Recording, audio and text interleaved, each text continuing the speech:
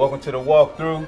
Today we have Jordan Ellis. What's going on, J Train? What's up, man? Good, man. Good to have you. Know I had to get you on the show. Thank you for having me. For being such a quiet guy, how have you been winning this Jersey draft pick every year for three years now?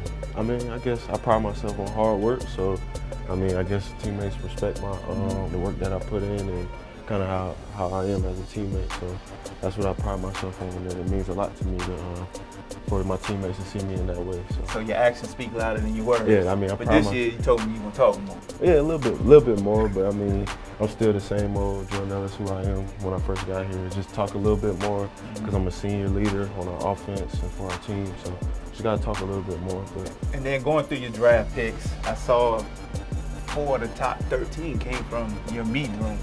How did that happen? How did all the running backs get their numbers first? Hey, I mean, they now they're uh, so four of the top running backs um, for my room are were uh, squad leaders. Mm. So I mean, Coach Mendenhall, those are based off of like performance standards. So I mean, we're, we're I'm trying to like create that standard in my room and um, leave a legacy of uh, just just working hard and uh, obviously it uh, shows in the, uh, the uh, standard uh, for squad leaders. So you know, just trying to leave that so, you get, so you guys work hard, you live hard, you run the ball hard. But let's let's get to the fun stuff. Your coach like to sing.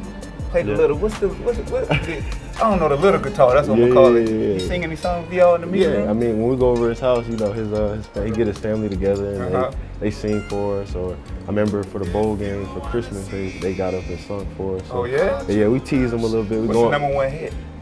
Uh, look at look at me. It's on Hey, you YouTube. wanna sing? No, I ain't, I ain't You gonna wanna sing. sing I ain't gonna You sing the sing. song? I ain't gonna sing, but you go on YouTube. So what's the name of it again? It's look at her.